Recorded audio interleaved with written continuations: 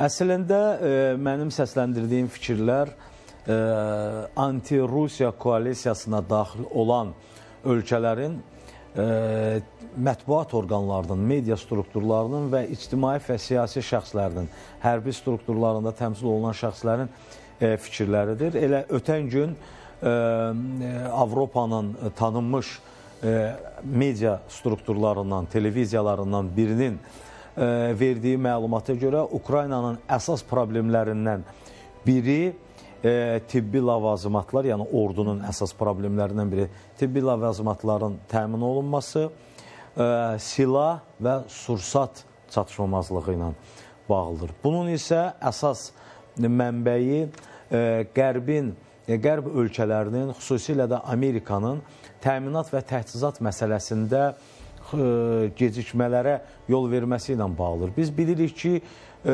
müharibə operativlik tələb edir.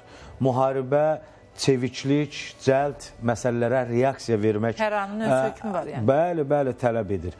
Əgər bir istiqamətdə 10 mərmi çatışmarsa, çatışmama çatışmamazlığı yaranarsa, deyək ki, 155 mm-lik top mərmisinin çatışmamazlığı yaranarsa, həmin istiqamətdə böyük bir ordunun, böyük bir hərbi birləşmənin məğlubiyyəti e, məğlubiyyət həmin e, döyüş məğlubiyyətlə nəticələnə bilər. Bu baxımdan Amerika Birləşmiş Ştatlarının e, maliyyə dəstəyinin və təminat təchizatla bağlı dəstəyinin gecikməsi Ukrayna Ukraynada Ukrayna ordusunun ön cəbhədə fəaliyyətini ciddi problemlərlə üzləşdirir. Və ə, e, təbii ki, burada bir mənalı ittiham olunan ə, e, tərəf isə Amerika Birləşmiş Ştatları, yəni Biden hakimiyyətidir. Həm həmçinin ə, e, Ukraynanı Rusiya qarşısında mübarizəyə səsləyən ə, NATO və NATO-ya daxil olan Türkiyə istisna olunmaqla digər ə, ölkələrdir. Böyük Britaniya və digərləridir. Bu baxımdan hesab eləyirəm ki, ə, Ukraynada baş verən hadisələrin əsas günahkarı e, həm də e, Qərbdir, həm də Amerika Birləşmiş Ştatlarının ştatlarıdır və onların bürokratik sistemidir ki, bu günləri Ukrayna ordusu bax bu çətinliklərlə üzləşir. Əslində vəziyyət olduqca gərgindir.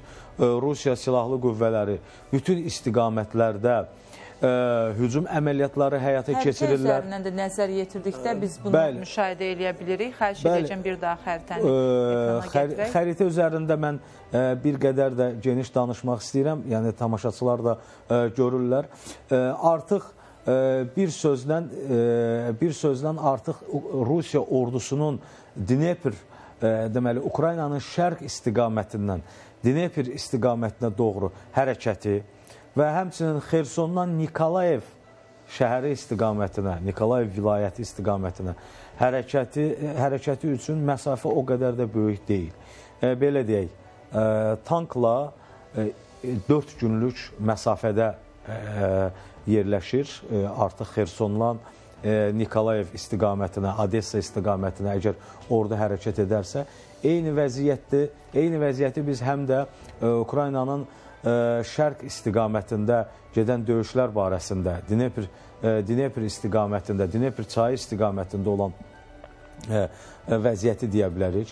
Biz bilirik ki, bax göründüyü kimi əsas Rusiyanın əsas problemlərindən biri Donetskini hədəfə alan, yəni belə deyək, Donetsk üçün problem yaradan Avdiyevka şəhərinin alınması idi. Artıq bir neçə gün bundan əvvəl səhv etmirəmsə ə, fevral ayının 16-sında məhz Avdiyevkanı Avdiyevka ələ keçirildi və ə, bununla da artıq bizim daha əvvəllər də bildirdiyimiz kimi baxırıqsa Ukraynanın şimal şərq hissəsində Kupyansk istiqamətindən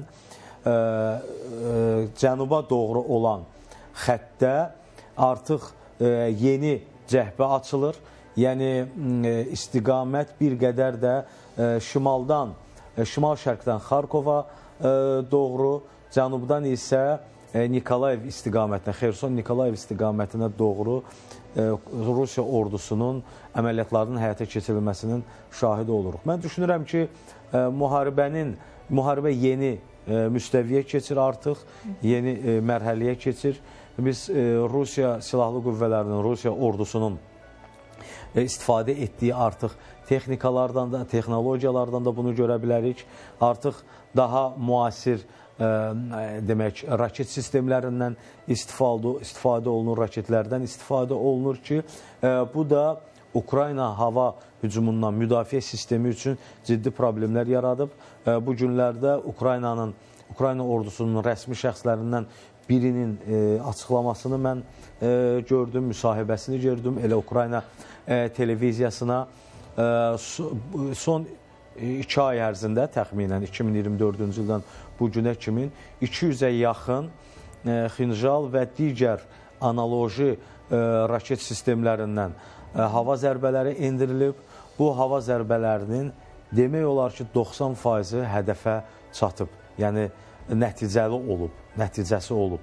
Bu o deməkdir ki, Ukraynanın təkcə silah, sursat və tibbi lavazımatla deyil, ordunun, Demək. həm də hava hücumundan müdafiə sisteminə də ciddi ehtiyacı Elə bu var. Bu istiqamətdə biz Ukrayna rəsmilərinin də açıqlamalarını eşidirik. Hətta pilotsuz uçuş aparatları ilə bağlı daha çox vəsaitin ayrılmasına ehtiyac olduğu deyilib və bu istiqamətdə qərbdən e, daha böyük dəstək gözlədiklərini bildiriblər. Qərb bəs bu məqamda, xüsusilə də hava hücumundan müdafiə üçün Ukraynanı lazımi təchizatla təmin eləyəcəkmi? Yəni buna həm potensialı, həm də istəyi çatırmı? Bilirsiniz, texnologiyaların içində ən bahalı texnologiyalardan biri də hava hücumundan müdafiə sistemidir. Çünki bir neçə mərhələli sistemdən ibarət olan bu zenit raket qurğuları, qurğularının yerləşdirilməsi və bunların inteqrasiyası prosesi bir-iki günün, heç bir həftənin də işi deyil.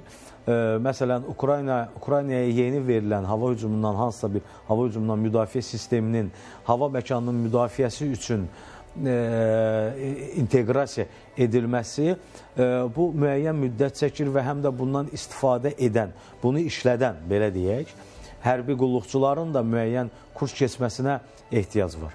E, bu baxımdan bu sürətli həyata keçiriləcək proses deyil. Təəssüf doğuran məqam odur ki, hələ illər əvvəl e, Paraşenko, prezident Paraşenkonun hakimiyyəti dövründə Ukrayna məhz bu cür hava hücumundan müdafiə sistemlərindən təmin olunmasına dair dəfələrlə Amerika Birləşmiş Ştatları və NATO-nun NATO-ya üzv olan digər ölkələr qarşısında məsələ qaldırmışdır və hər dəfə də e, ehtinatsızlıqla və bu və ya digər formada məsələdən yayınmaqla prosesdən uzaqlaşmışdılar və digər texnologiyalarla təmin olunması üçün hələ Zelenskinin dövründə də müraciətlər olunmuşdu.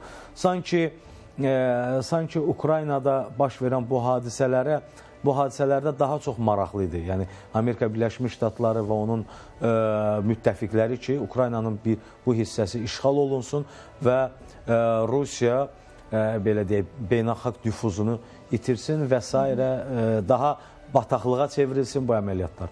Düşünürəm ki, hava hücumundan müdafiə sisteminin təmin olunması artıq nəinki e, vacibdir, bu ölüm-qalım e, məsələsidir. Əgər yaxın vaxtlarda e, yeni hava hücumundan müdafiə sistemləri e, təmin e, hava hücumundan müdafiə sistemləri ilə təmin olunmasa, Ukraynanın digər strateji e, məntəqələri də ciddi ziyan görəcək.